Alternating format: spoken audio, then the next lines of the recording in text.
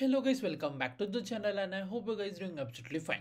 First of all just me log with your local credentials and once done with that in the description box of this video i will share one github link. Just me click on that link and then you are able to access this file over here.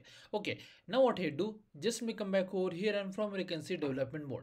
Just me click on this toggle and make sure that you have to turn on this toggle.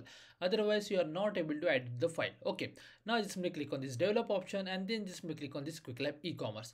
Now it will take a couple of seconds meanwhile just me come back over here and from here you can see the content for your user view file. So just me copy this content come back just me click on this views and here you can see this file name user views. Just me click over here now just me replace this content with this. Okay so it's done. Now just me click on this save changes. Okay now just me come back over here again scroll down a little bit and from here you can see order item views file. So just me copy this content again come back and just me replace with this line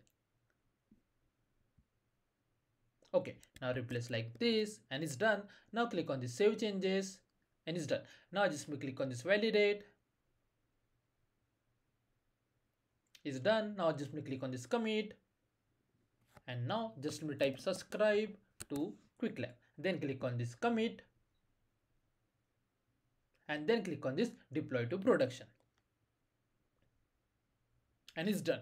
Now if you just come back to the lab instructions and click on the check my progress for each and every task, you will get a score without any issue. And if the score is not updated for any particular task, no need to worry. Just wait for a couple of minutes and you will get a full score over here without any issue. And as you can see, it's done.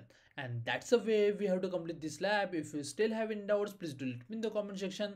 Thanks for watching and have a good day guys.